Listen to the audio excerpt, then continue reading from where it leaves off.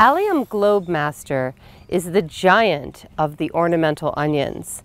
You can see here the beautiful head that's covered with little star-like flowers and it's about 8 to 10 inches across. Allium bulbs are quite large.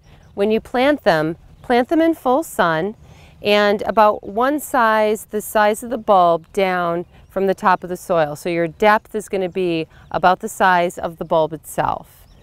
Plant alliums mixed in with perennials. You can see how beautiful it is here combined with poppies.